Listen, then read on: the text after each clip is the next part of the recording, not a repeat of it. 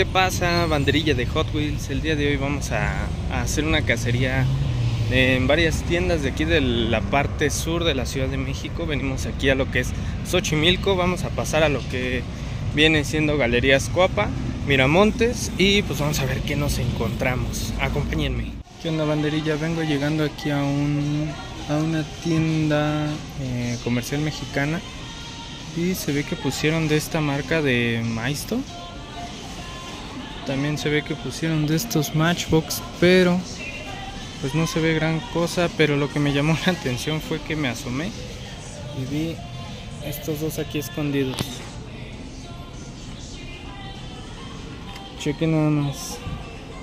El Corvette de Barbie y el McLaren Solo. Pues ya, se hizo la cacería. Y bueno amigos, aquí ya venimos llegando a otra tienda, es un Walmart. Vemos que surtieron cajita F 2024. Aquí tenemos este Dodge Charger 70 RT, que es el modelo de Rápido y Furioso, pero con otros colores. Aquí tenemos un Playmon Cuda color rojo. Recordemos que su primer variante fue en color azul.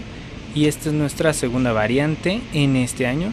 Vamos a ver qué más tenemos por aquí, qué joyitas aparecen. Vean, este Chevy Custom 72 está muy muy bonito ese color verdecito. Ese ya lo tenemos, ahí lo vamos a dejar. Vamos a ver qué más tenemos de este lado. Vean una Ford Performance Supervan. Es la. No sé si sea la primera edición. O ya haya salido otra edición. Pero bueno, ahí la tenemos.